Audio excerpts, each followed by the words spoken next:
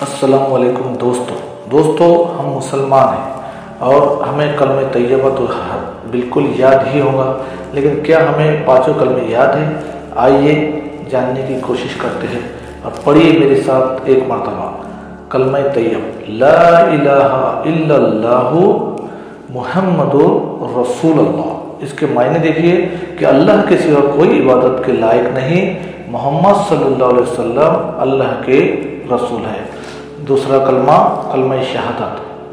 اشہد ان لا الہ الا اللہ وحدہ لا شریک لہ واشہد ان محمدا عبدہ رسولہ۔ میں گواہی دیتا ہوں کہ اللہ کے سوا کوئی معبود نہیں۔ وہ اکیلا ہے، اس کا کوئی شریک نہیں۔ اور میں گواہی دیتا ہوں کہ بے شک محمد صلی اللہ علیہ وسلم اللہ کے بندے اور رسول ہے تیسرا کلمہ کلمہ تنجید۔ سبحان اللہ والحمد للہ ولا الہ الا اللہ واللہ اکبر ولا حول ولا قوت الا باللہ العلی العظیم اللہ پاک ہے وہ سب تعریف اللہ کے لیے ہے اور اللہ کے سوا کوئی معبود نہیں اور اللہ بہت بڑا ہے گناہوں سے بچنے کی طاقت اور نیکی کرنے کی توفیق نہیں مگر اللہ کی طرف سے جو بہت بہت بلند عظمت والا ہے۔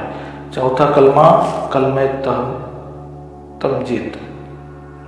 لا الہ الا اللہ وحدہ لا شریک لہ لہ الملک و لہ الحمد، یحیی و یمیت و هو حی لا یموت عبدا عبد ذوالجلال والاکرام بے ادک الخیر و هو علی کل شیء قدیر۔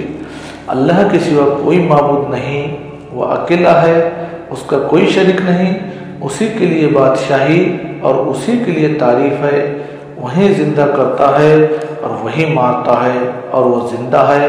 اس کو ہرگز کبھی بھی موت نہیں آئے گی۔ بڑے جلال اور بزرگی والا ہے۔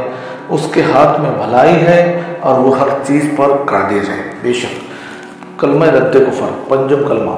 اللهم إني أعوذ بك من أن بك شيء وأنا أعلم به وأستغفرك لما لا أعلم به. تبت عنه وتبرأت من الكفر والشرك والكذب والغيبة والبدة والنميمة والفواحش والبهتان والمعاصي كلها. كلها اسلمت واقول لا اله الا الله محمد رسول اللہ۔ اے اللہ، میں تیری پناہ مانگتا ہوں۔ اس بات سے کہ میں کسی شے کو تیرا شریک بناؤں۔ جان بوجھ کر اور بخشش مانگتا ہوں تجھ سے اس شرک کی جس کو میں نہیں جانتا۔ اور میں نے اس سے توبہ کی اور کفر سے اور شرک سے اور جھوٹ سے اور غیبت سے، اور بدت سے، اور چگلی سے، اور بے حیائیوں سے، اور بہتان سے، اور تمام گناہوں سے۔ اور میں اسلام لایا، اور میں کہتا ہوں کہ اللہ کے سوا کوئی عبادت کے لائق نہیں۔ اور محمد صلی اللہ تعالی علیہ وسلم اللہ کے رسول ہے۔